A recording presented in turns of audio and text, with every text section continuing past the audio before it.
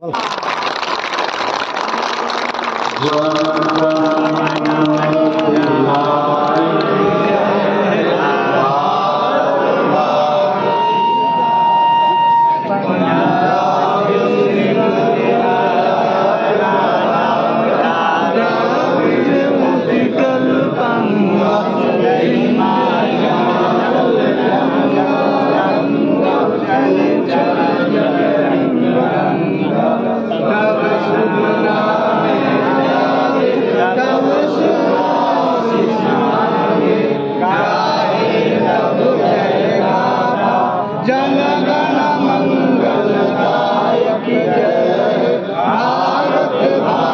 नमस्कार, आप सभी देख रहे हैं खबर जनता तक। आप सभी समस्त दर्शकों का पुनः एक बार हमारे चैनल में स्वागत है। आप सभी को बता दें, आप सभी को निश्चित रूप से पता होगा कि स्वतंत्रता दिवस है। आज़ादी का सतहत्तरवा दिवस मनाया जा रहा है। पूरे देश में हर्षोल्लास के साथ में उसी क्रम में हम अभी पहुँचे हैं लखनऊ पंचायत अंतर्गत, जो लखनऊ पंचायत के सिटिंग मुखिया हैं, फिरोज आलम जी, उनके कार्यकाल प्राइवेट स्कूल का शिलान्यास किया गया है और उस स्कूल का नाम है रॉयल इंटरनेशनल स्कूल वो स्थित है जलालपुर गाँव में जो लकड़ी प्रखंड के अंतर्गत आता है सिवान जिला है। उससे उस उद्घाटन के स्थल पे उद्घाटन क्रम में काफ़ी सारे गणमान्य व्यक्तियों का आगमन हुआ है उद्घाटन में और जो भी व्यक्ति हैं उन सभी को सभी से हम एक एक करके बारी बारी से आप सभी को अवगत कराएँगे और शिक्षा समाज का बहुत ही बड़ा एक हथियार होता है। उसी क्रम में मुखिया जी पंचायत का काम करने के अलावा उनको कैसे समय मिला और क्या सोचे, कैसा व्यू आया दिमाग में कि एक अच्छा स्कूल का इतने बड़े स्कूल का शिलान्यास, बिल्डिंग खड़ा किया जाए। मुखिया जी का सबसे पहले हमारे चैनल में स्वागत है। आपको भी बहुत बहुत धन्यवाद। और आज 15 अगस्त के मौके पर हम लोग जो यहाँ तिरंगा फहराए हैं झंडा, यहाँ हमारे सब दोस्त, अभिभावक गार्जियन लोग आए हैं। मैं सबको तहे दिल से और पूरे पंचायत, पूरे प्रखंड और पूरे जिलावासी को तहे दिल से मुबारकबाद और धन्यवाद देता हूँ। मुखिया जी, आपने मुखिया होते हुए भी काफ़ी सारे अर्निंग और एक्स्ट्रा अर्निंग भी है। उसके अलावा आपने इतना इतना बड़ा बिल्डिंग खड़ा किया, इतना बड़ा स्कूल खड़ा किया है तो इसमें गरीब परिवारों को कैसे राहत मिलेगा? जो परिवार है, गरीब, वो अपने बच्चों को इसमें दाखिला कराना चाहते हैं तो किस प्रकार का कंसेशन रहेगा आपके स्कूल में? देखिए, ये जो है, इतना बड़ा जो आप स्कूल का ढांचा देख रहे हैं, ये हमारे भाई इंजीनियर का इसमें सहयोग है। और उन्हीं का सपना है, उसके बाद हम सबका सपना है। और ये काम जो हो रहा है, इसमें लगभग 200 लोग आज तीन साल से काम कर रहे हैं। तो कहीं ना कहीं इसमें लोगों को रोजी रोटी मिला है। दूसरी बात यह है कि हम लोग जो है कोई खियाली पुलाव नहीं बनाएँगे। हम लोग ये कह रहे हैं कि जो बच्चा, गरीब या अमीर, का बहुत ही टैलेंट होगा, जो हमारे टेस्ट में पास होगा, उसको हम फ्री में पढ़ाएँगे। मतलब एक रुपया भी नहीं लेंगे लेकिन हमारे टेस्ट में पास होना चाहिए। हम हर क्लास से कुछ बच्चा को लेंगे जो फ्री में पढ़ेगा। वो गरीब का हो अमीर को फ़र्स्ट होना चाहिए उसको टॉप होना चाहिए। और जो इस वीडियो को देखकर लोग चाहेंगे अपने बच्चों का दाखिला करना स्कूल में तो कितना ड्यूरेशन अभी समय बाकी है इसका निर्माण पूरा होने में? अभी बस हम लोगों को जो है दिसंबर से एडमिशन शुरू हो जाएगा और फ़र्स्ट हम लोग का ये है प्ले पे। जो हमारे यहाँ जो है इसका अभी तक रिवाज नहीं है प्ले जो बच्चों छोटे बच्चों के लिए। उसके बाद से हम लोग जो है मार्च से सेशन चालू कर देंगे। तो पहले दाखिले के गर्जीवन के लिए कितना ज़्यादा छूट रहेगा आपके स्कूल के माध्यम से? कोई छूट नहीं रहेगा। वही छूट होगा जो लड़का टेस्ट में पास होगा उसको हम लोग जो है फ्री पढ़ाएँगे। और शिक्षा के साथ साथ खेल कूद भी ज़रूरी होता है। खेल में भी लोग अच्छे करके बहुत अच्छे स्तर तक जा सकते हैं और अर्निंग भी कर सकते हैं और रोलिटी भी कमा सकते हैं। आपका स्कूल का नाम रोल से पा रहा है तो इसमें खेल से रिलेटेड रोलिटी के लिए क्या व्यवस्थाएँ हैं? उसके लिए हम लोग बहुत बढ़िया एक ग्राउंड बना रहे हैं और ग्राउंड में जो है हमारे बच्चे और बाहर के भी बच्चे खेलेंगे और जो उसमें अच्छा करेंगे, उसको अच्छा पुरस्कार दिया जाएगा और जो हम चाहेंगे कि वो खेल के अच्छा नाम रोशन करें और इंडिया लेवल पे खेलें। बहुत बहुत धन्यवाद आपका मुखिया जी और उनके उसी क्रम में मुख्य अतिथि के तौर पर जिनका आगमन हुआ था इस रॉयल इंटरनेशनल स्कूल के प्रांगण में अभी हमारे अगस्त है स्वतंत्र दिवस है तो देशवासियों को अपने क्षेत्रवासियों को क्या शुभकामनाएँ देना चाहेंगे? सबसे पहले तो मैं आपका धन्यवाद करना चाहूँगा और आपके चैनल के माध्यम से तमाम दर्शकों को मैं प्रणाम करना चाहूँगा। आज राष्ट्रीय पर्व है और हम लोग शिक्षा के मंदिर में बैठे हैं।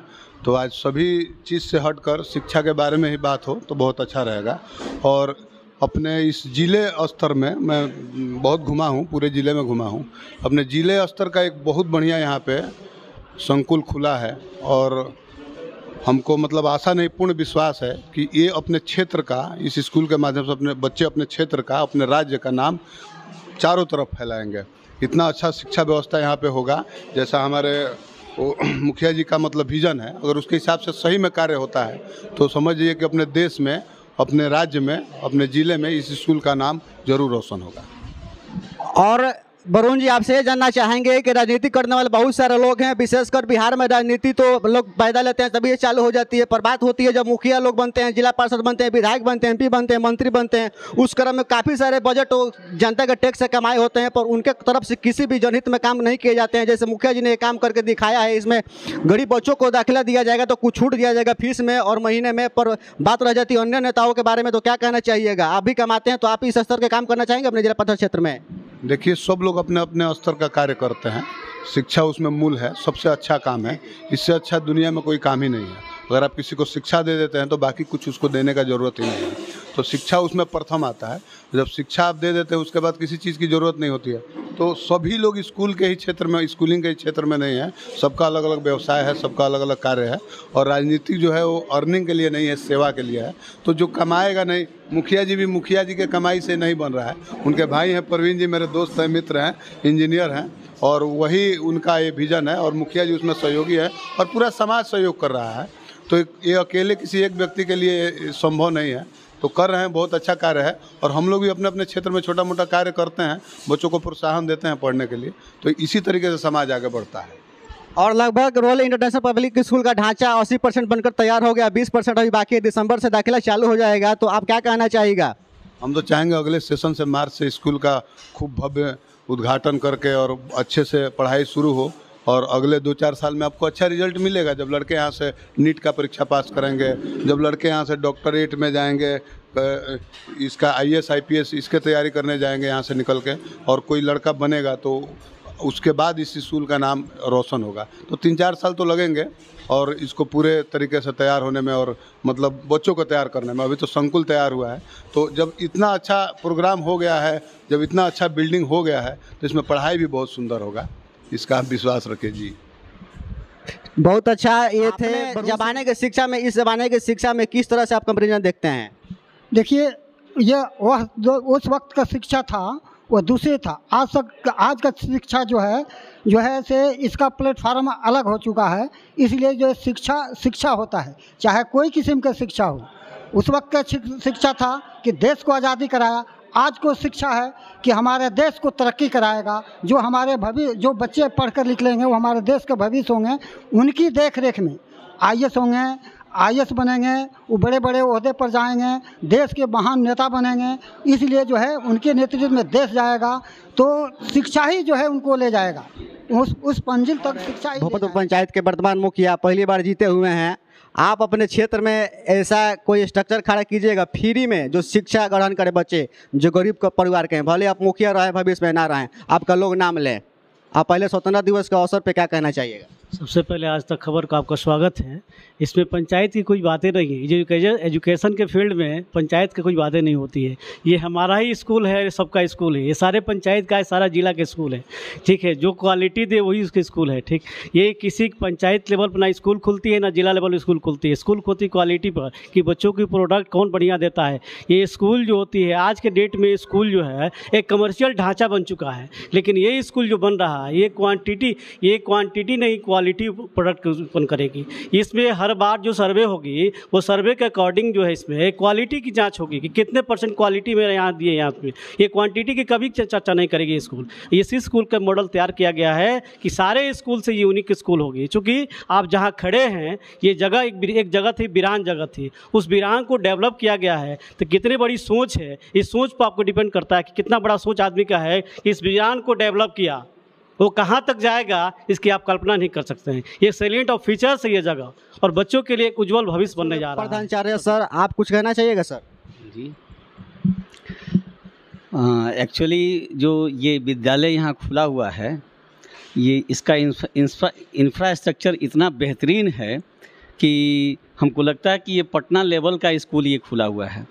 और आज के डेट में जितने भी प्राइवेट स्कूल हैं तो maximum private school commercial type का बिहेव कर रहे हैं। हर प्राइवेट स्कूल में उनका मूल जो उद्देश्य है, वो शिक्षा न हो करके वो एक तरह से पैसा कमाने का ज़रिया बन गया है। लेकिन मैं उम्मीद करता हूँ कि ये जो विद्यालय खुला हुआ है, इसमें ये बातें नहीं हैं। यहाँ ये आश्वासन हम लोग को ज़रूर मिला है कि ये विद्यालय जो है, ये कॉमर्शियल ना होकर के ये क्वालिटी एजुकेशन देगा।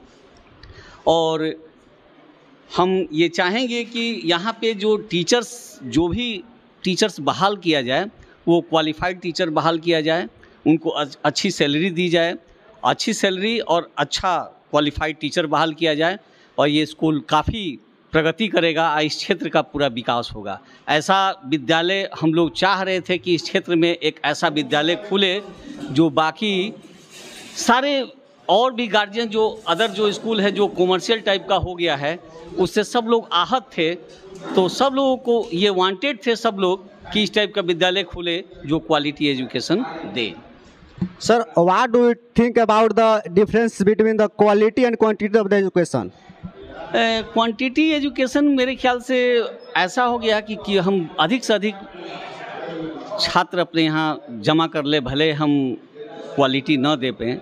क्वालिटी एजुकेशन का मतलब हुआ कि हम बच्चों को गुणवत्तापूर्ण शिक्षा दें, जो कि वो आगे चल के कंपटीशन फेस करे, आगे चल के वो अपना मुकाम को हासिल करे।